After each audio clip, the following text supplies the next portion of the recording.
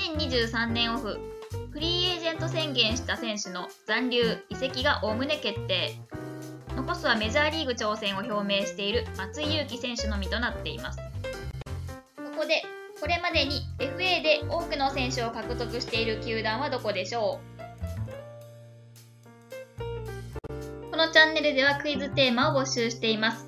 ぜひコメント欄にてリクエストしてください。回は第1位から見ていきましょう。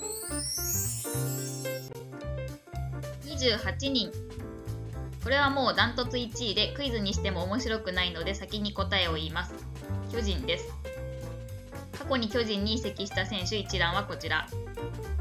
同じ年に陽大観選手、山口選手、森福選手を獲得したり、伊能選手と梶谷選手を同じ年に同一球団から獲得したりと巨人らしい補強がたくさんありました。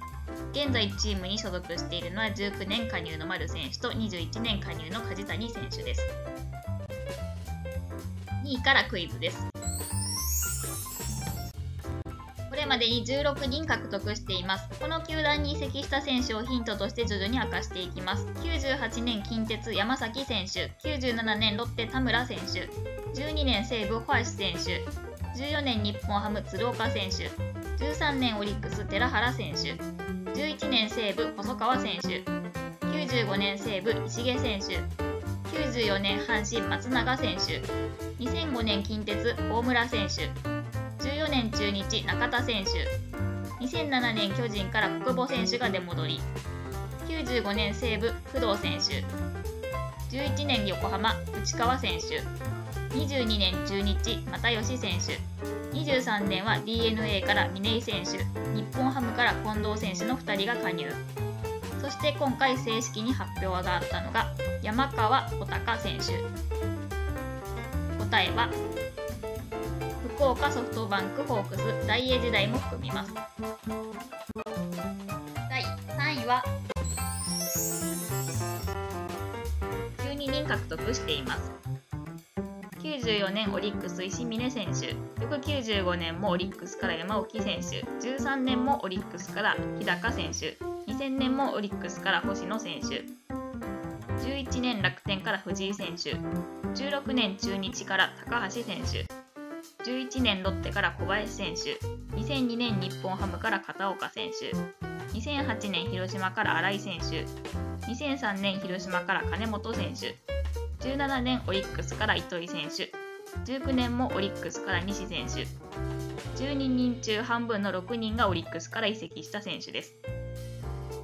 立地が大きく関係していると考えられます。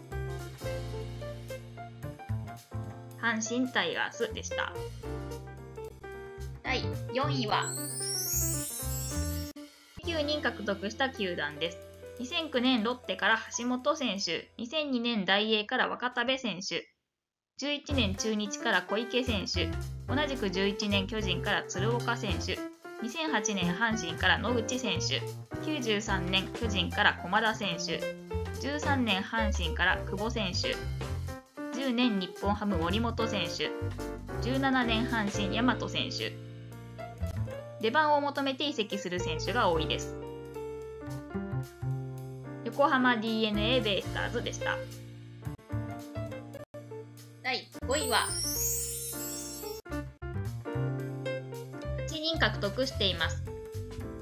FA 移籍した唯一の外国人選手、ミンチェ選手を西武から、14年ソフトバンクから山崎選手、2004年同じくソフトバンクから村松選手、18年日本ハムから増井選手。15年同じく日本ハムから小谷野選手13年平野圭一選手が阪神から出戻りました。パ・リーグ内での移籍が多いです。そして23年は森友哉選手を獲得。24年から西川龍馬選手が新たに加わることが発表されました。オリックス・バファローズブルーウェーブ時代も含んでいます。6位はこれまでに7人獲得しています。95年近鉄金村選手、99年大英から武田選手、2001年ヤクルト川崎選手、2008年西武和田選手、14年2度目の FA で巨人から移籍、小笠原選手、18年日本ハム、今季引退した大野翔太選手、2002年は横浜から兼任監督も務めた谷繁選手。この球団は中日ドラゴンズでした。7位タイは？これまで5選手を獲得しています。2009年中日から中村選手。20年ロッテから鈴木選手。17年西武から岸選手。19年同じく西武から浅村選手。そして24年から監督を務める今江選手も16年ロッテから移籍してきました。現役選手が3人います。楽天ゴールデンイーグルスでした。同じく5人獲得しています。96年阪神から中田選手。12年わずか半年で巨人から出戻りの三郎選手。14年西武から現中日の涌井選手。20年楽天から美馬選手。同じ年にソフトバンクから今年戦力外となった福田選手を獲得しました。この球団はロッテマリーンズでした。まずは9位タイから見ていきましょう。これまでに4人獲得しています。2009年横浜から相川選手。翌10年は阪神藤本選手。15年日本ハム大引選手。同じ年にロッテから成瀬選手を獲得しています。この球団はヤクルトスワローズでした。同じく4人。過去にこの球団からソフトバンクに移籍し再び復帰したという唯一の事例鶴岡選手。24年から2軍監督を務める稲葉選手。今年23年オリックスから加入伏見選手。そして同じくオリックスから在京のセ・リーグ球団への移籍が濃厚と言われていた山崎幸也選手の入団が決まりました。北海道日本ハムファイターズでした。第11位は。過去に3人獲得しています。16年セルフ戦力外と揶揄された木村選手を広島から。現オリックス中島聡監督はオリックス在籍時に FA でこの球団に移籍しています。そして楽天の監督を辞任した石井選手をヤクルトから獲得しました。この球団は埼玉西武ライオンズでした。12位は2002年唯一獲得したのが加藤真一選手です。しかし2年後には戦力外通告を受け引退しています。チームもこのタイミングで消滅しました。大阪近鉄バファローズ。いうことでこのランキング実は13位まであります。第13位は獲得者0人という球団です。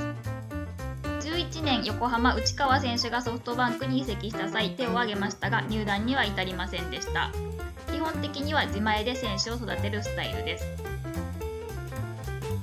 広島東洋カープでした。後にもう一度順位を振り返りましょう本オフはソフトバンク、日本ハム、オリックスの3球団が1人ずつ獲得し3選手が国内移籍する結果となりましたご視聴ありがとうございました。皆さんの予想とギャップはありましたでしょうか？ぜひ感想を教えてください。高評価、チャンネル登録していただけると大変嬉しいです。よろしくお願いします。当チャンネルでは野球にまつわる様々なクイズ動画を作成しています。他の動画もぜひご覧ください。